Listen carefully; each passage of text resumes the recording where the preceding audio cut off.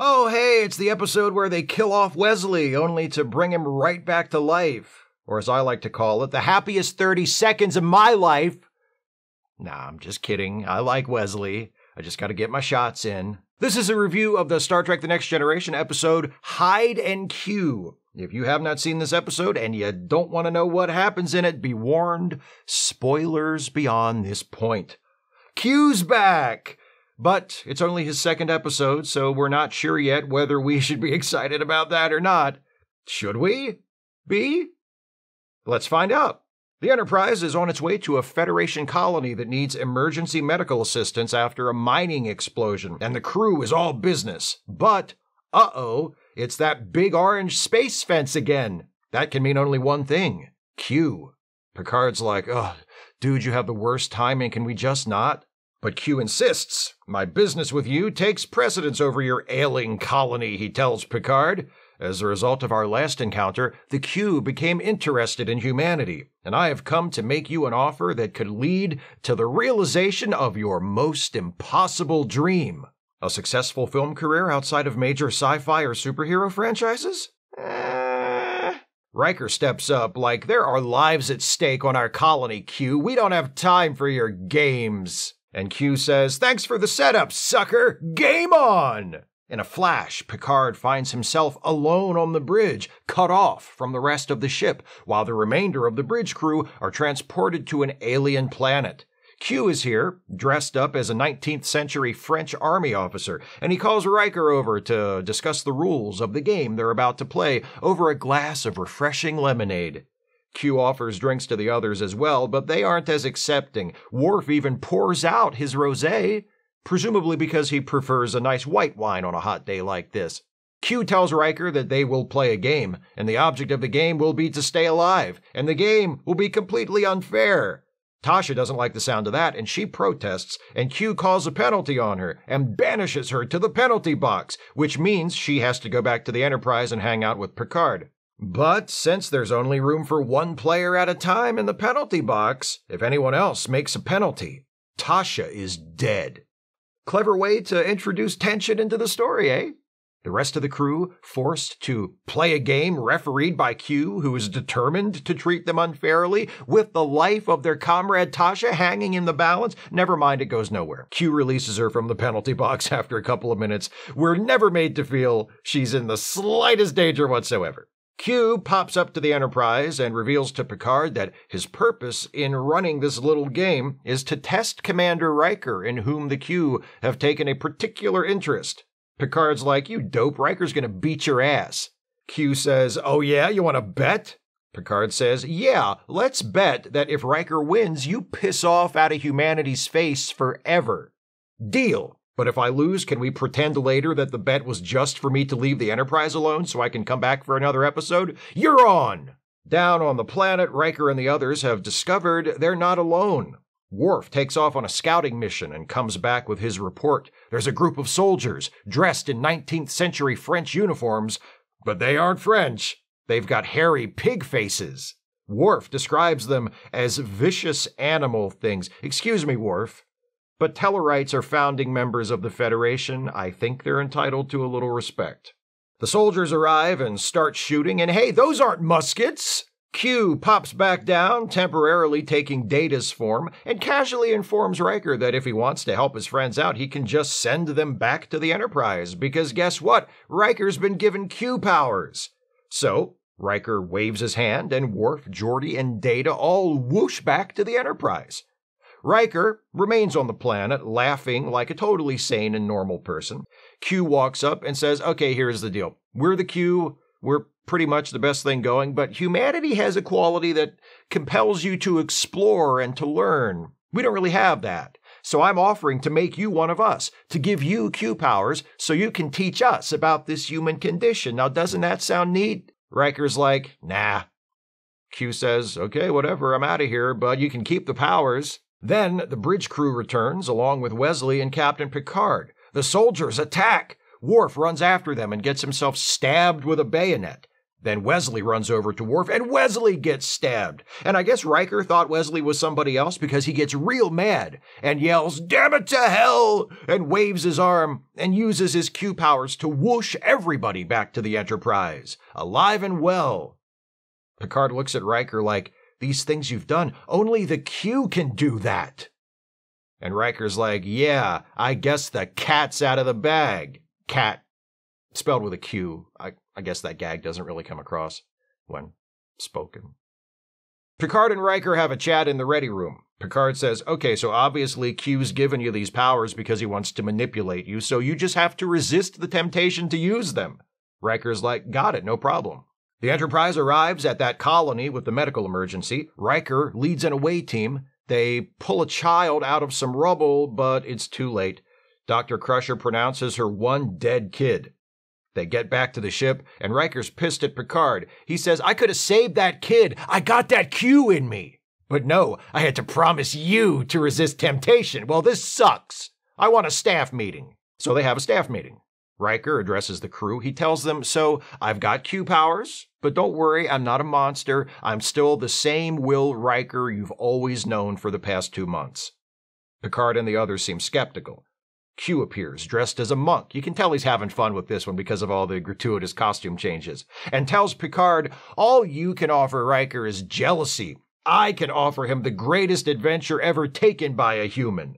Riker, demonstrate your friendship to your crew. Use your powers to give them each a gift. Riker turns to Picard like, May I? And Picard suddenly seems supremely confident and says, Yeah, man, go ahead. So Riker goes one by one and uses his Q powers to give his friends a gift. He transforms Wesley into a completely different person. That's a gift to everyone, really. I'm sorry. I said nothing personal, Wes, but it's got to be done. He's about to turn Data into a real boy, but Data refuses the gift, saying he would know his humanity was just the result of Q power, so it would never truly be real to him. Riker's like, okay, whatever, Robo Flop, and he moves on to Geordi. He changes Geordi's eyes, giving him more typical human vision. But after grabbing a quick peek at Tasha, Geordi's like, okay, I'm good. Give me back my old eyes. I'm not accepting gifts from Q. So Riker switches Geordi back to the old eyes, then turns to Worf, and he's like, Worf, I know what you want. And he makes Worf a horny girlfriend. And they hiss at each other and have a little fight. And Geordi's like, is that sex? Worf says, Yeah, it's sex, but there's no place for it in my life now because I guess I'm celibate or something. I don't know, I'm still really poorly drawn at this point. Now Wesley speaks up, like, Hey, change me back too. I don't want to be deprived of the joys of adolescence. So Riker changes him back too, then turns to Picard and says, They all turned down my gifts. I feel like a fool. Picard's like, Good, you should, because you are one. Now sit your fool ass down. He turns to Q and says, Riker has resisted temptation and defeated you at your own game. Now pay off your wager and get lost. Q tries to argue, but his fellow members of the Continuum enforce the terms of the wager for him, and Q vanishes from the Enterprise, screaming in a flash of light. And Geordi's like, Is that sex? That's pretty much it. Everybody's back to normal. The continuing mission continues. See you next week, folks! It's an extremely first season episode of TNG, this one. Not the worst, not as lazy and derivative as The Naked Now, not as aggressively offensive as Code of Honor, but representative of what made TNG such a rotten show in its first year. Part of the problem is something I already touched on in the summary, which is that the episode teases a much more interesting premise than what it actually ends up being about. Q as the gleefully corrupt games master, forcing the crew to take part in a competition with Tasha in the penalty box to be pushed into oblivion if any of the others make a single mistake. I'm not saying it would have been a good episode. This is season 1 TNG, it probably wouldn't have. But that at least sounds more promising than Q wants to make Riker a Q so he can understand humanity's curiosity, doesn't it? That's another problem. It seems clear that the seed from which this episode grew was the concept of Riker gets Q powers. But then the question that you, as a writer, have to answer is how does Riker get Q powers? Why? The answer the writers of this episode came up with is oh, um, Q wants to better understand humanity, I guess? Because humanity has the potential to eventually evolve to be as powerful as the Q? Maybe? It's very thin soup. The basic concept of Q using the promise of power to tempt Riker is promising, but the justification for it and the depiction of Riker's actual experience of temptation just don't work for me. Exacerbating the issue with the lack of tension is Picard's role in this story. For most of the episode, he's entirely reactive. So many of his lines are just to repeat what someone else just said in confusion or disbelief. Beyond that, his role is to be the guy who's always right. He effortlessly outsmarts Q. He sits back and lets Riker do his gift giving gimmick, watching with complete confidence, certain that the crew will give back the gifts and it will all blow up in Riker's face and show him how wrong he is to be tempted by the Q powers. And it works. Everything goes exactly like Picard thinks it will. No twist, no unexpected obstacle, no unanticipated complications to deal with. The hero smugly makes a prediction as to what is going to happen. That exact thing happens, and the villain leaves in frustration. Not exactly high drama. And then, literally seconds after Q exits, the episode is over. Riker just had godlike powers like a minute ago, but now they all assume their posts, and the Enterprise gets back on course, and everything is exactly like it was, as though none of what we just watched even happened. This sort of extreme episodism is a problem for TNG in general, especially in the early seasons, as well as a problem for Star Trek Voyager. So Hide and Q is not the only offender, but usually we at least get a break between episodes before seeing that everything has returned to status quo. And this episode, we see things returning to normal in real time, right before our eyes. Riker just had Q powers. Q was just yanked howling in protest back to the continuum. Wesley was just a completely different person. Geordi just had typical vision. Worf just had a girlfriend. Now it's all gone and it's back to business as usual before the episode is even over. What is the point?